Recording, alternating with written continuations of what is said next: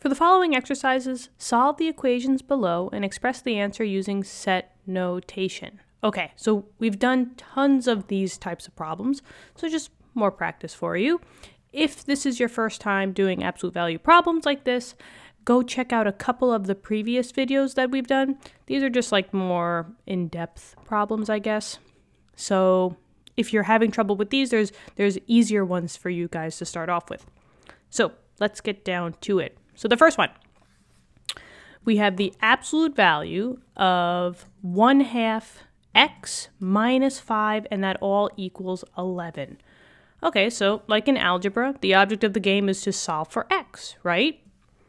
Now, everything on the left-hand side is trapped in between this absolute value sign. And remember, what an absolute value sign is, is that whatever this this input is over here, whatever this is equal to, right? Always is going to equal to a positive number. That's what the absolute value is telling you. So in this case, it's saying whatever is in here equals 11. It's the positive 11. However, it could have been equal to negative 11. But since the absolute value, the function is always going to give out you out a positive, it's going to change that negative 11 into a positive. Okay, so that's just what the absolute value function is. It just turns whatever number it is and makes it into a positive. Now, I can't really progress further if I want to solve for x here. Everything on this side is trapped in between this absolute value function. So, when that happens, we are going to split up the formula. And that's how we get rid of the absolute value we're going to make two equations now. Because technically, one of the equations was what it was stated. It was stated as 1 half x minus 5, and that equals 11. But just like we said before, right, what happens if this was equal to a negative 11? The absolute value is going to plug that in and turn it into a positive number. So we could have had a secret 1 half x minus 5 equals negative 11, in which we have to solve for x. So once you can't progress any further and everything is blocked by this absolute value, you split your equation into two separate equations, one equaling the positive answer and one equaling the negative answer. So we're going to have two answers here. So let's work with the one on the left-hand side first. So I still want to solve for x.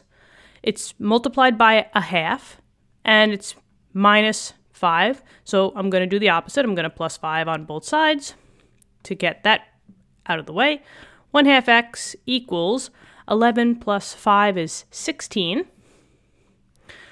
So now I have a 1 half times x, and I want to get x by itself. So if I want to multiply, if I'm multiplying by 1 half, I have to do the opposite. So you could say divide by 1 half.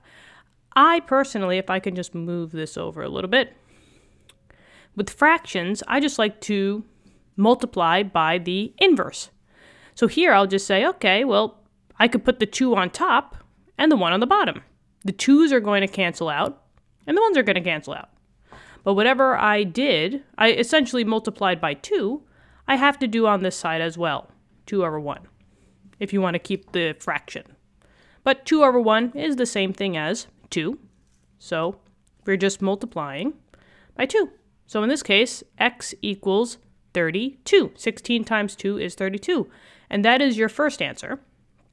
Now we just got to do the same for this guy over here. You want to solve for x. I'm going to plus the 5 first to get rid of that. So this would be 1 half x equals a negative 11 plus 5 is, what is that?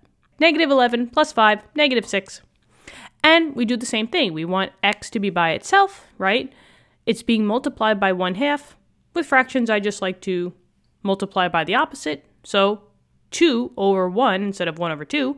The 2's will cancel, the 1's will cancel, and whatever you did over here, you just do on the other side. So times it by 2 over 1, which is essentially 2. So you're just multiplying by 2. So your new answer would be x equals a negative 12. Negative 6 times 2 is a negative 12. And there is your two answers. However, this question said we have to use set notation. Well, what is that? It's just a fancy way of representing your answers. What you're going to do is you have to put it in brackets. And set notation is always with increasing numbers. So you're going to put the lower number on the left and the higher number on the right. We have a 32 and we have a 12, a negative 12. A negative 12 is less than 32, so we start with the negative 12, and when we want to say a new number, we just put a comma, and then 32. And that is your final answer for this one. Look at that, guys. One down, two more to go. Let's move on to the next one. This one says the absolute value of 1 third x plus 5 equals 14. Well, it looks like the same thing is happening, right? Everything on the left hand side is being trapped between that absolute value. So I'm, I'm kind of stuck, right? I want to solve for x, but it, everything on this side is trapped inside that absolute value. Oh, but wait a minute. I can break this up into two equations. One is going to be the positive 14, and the other one is the negative 14. So there we go. 1 third x plus 5 equals 14, and then 1 third x plus 5 equals negative 14. And there are your two equations, and I strip away the absolute value, and now I'm ready to solve for x. Let's work on the one on the left first. I still want to solve for x, it's a plus 5, so I'm going to subtract 5. That will cancel. So I'm left with 1 third x equals 14 minus 5 is a 9. And now, it's good practice with fractions. You want to get x by itself. It's being multiplied by 1 over 3. So just flip the fraction. I can times it by 3 over 1, which is essentially 3. The 3's will cancel, the 1's will cancel, and whatever you do, let's just put it on the other side. So 3 over 1 is 3, so I'm just timesing it by 3. So x equals 27. One answer down. Now let's work on the next one. We still want to get x by itself. It's a plus 5, so minus 5 on both sides. 1 third x equals, this will cancel, and we got negative 14 minus 5 now, which is a negative 19. I want to get x by itself. It's still being multiplied by that 1 third, so flip it on them, right? Times it by 3 over 1. The 3's will cancel. The 1's will cancel. So you're just left with x on this side. And 19 times 3 over 1, aka just 3. Negative 19 times 3, right? So this would be, let's see, 30 plus 27, so negative 57. And I just want to triple check. Yep. Perfect. And those are your two answers. But set notation says that we have to put it in these fancy little brackets. And negative 57 is way less than 27. So I will start with the negative 57, comma, 27. And that, my friends, is it for that one. So the math isn't that bad. It's just breaking it up or, or knowing when to break it up. Okay, let's look at this one now. Ooh, this one looks a little bit more challenging negative absolute value of 1 third x plus 5 plus 14 equals 0. Ooh, okay. So remember, name of the game is that we want to solve for x. It's all being trapped in between that absolute value. So it looks like I can do a couple of things. I, in order to split the equation into two, just like we did on these guys, I have to have just the absolute value on the left hand side. I have two things. I have this negative that I have to bring over to the other side, and I have this plus 14 that I have to bring onto the other side. The question is, you know, which one do we do first? Now remember that this negative is just saying that there's a negative 1 being multiplied by the absolute value. Now, would I, if I just keep that here, negative 1, would I divide everything by negative 1 first? Or would I subtract 14? The answer is you would subtract 14 first because this negative 1 is only being multiplied with the absolute value. The negative 1 is not being touched by that 14. So I can't just divide by the whole negative 1 because the 14 has nothing to do with the multiplication. So I will subtract 14 on both sides first. These go bye-bye. So now I have negative 1, and I will put that in because that's going to get a little rough. 1 third x plus 5 equals a negative 14. Okay, now I have to do something with this negative 1.